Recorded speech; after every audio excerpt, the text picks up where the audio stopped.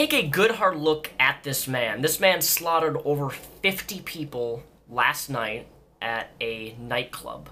Look at this smile, that smirk with his little selfie, his suit and tie looking all nice. A U.S. official said that the Department of Homeland Security reports that this guy has actually pledged allegiance to ISIS and was even heard praying in another language in the nightclub. And if this is true, then it really doesn't surprise me, since the religion of Islam is so rampant against any uh, any sort of person who's against homosexuality. And this just proves that the LGBT community and religion itself, specifically in religion of Islam, is still rampant and needs to be fought against.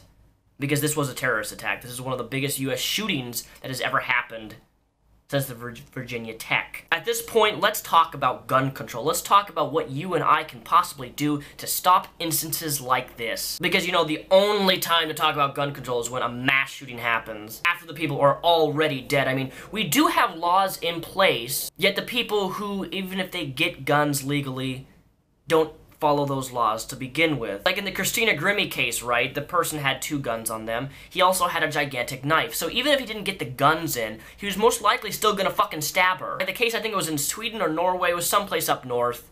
A guy took a sword to class, pretending that it was, you know, just a prop or whatever, and then he stabbed several students and killed one of them. If people have an intent to harm people, they will do it whether or not they have guns, and yes, I do believe that we can take measures to make guns less accessible or less easy to obtain. But I want to give a proposition to you. What would you do? You, the viewer, the viewer who has an opinion, how would you change the current laws that we have in America, um, if that would even do anything, considering that almost every single American has a firearm? How would we stop them?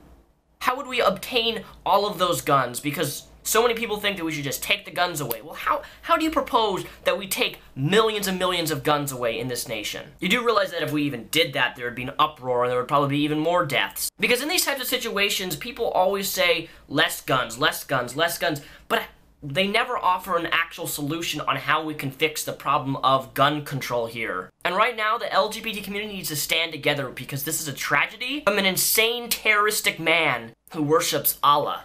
Uh, and that just says a lot. And I don't give a shit if you're a moderate Muslim or extreme Muslim. I hate fucking Islam, hands down. You know, I'm not gonna apologize. I'm not gonna, I'm not gonna beat around the bush.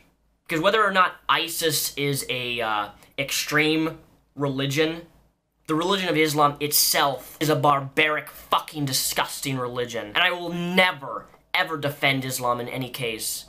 I mean, I'll defend a person's right to practice religion as long as it's not violent or doesn't infringe upon someone's rights. But let's be honest, whether you're a moderate Muslim or not, the religion of Islam, whether extreme or not, is a religion that does not teach peace whatsoever. Um, and I've talked about this in numerous videos. I've went into great detail and just, just dissecting the Quran. I'm not going to do it here. But this is a problem. This is a terrorist who grabbed hostages and killed over 50 people. And that's that's extraordinary to me that this could happen. We can't really seem to do anything to stop it until it's too late. I find it disheartening that we discuss gun control only after the big tragedies happen, and yet still nothing actually changes. So why do we get so worked up on gun control after people have died? Rather, in between these instances of these terrorist attacks, we can try to do something to change that. What do we have to do to change it? I don't know. But it's obviously a problem. The US has a problem with mass shootings. To deny such would be insanity. And to any one of those crazy people claiming that this was an act of eliminating the gay gene, the gay disease, you're one fucked up person. Because whether or not someone believe, uh, has an ideology or a lifestyle that you may disagree with, to have their life taken simply because they're gay? You religious people really go to show how loving and how peaceful and how much you really care about other people.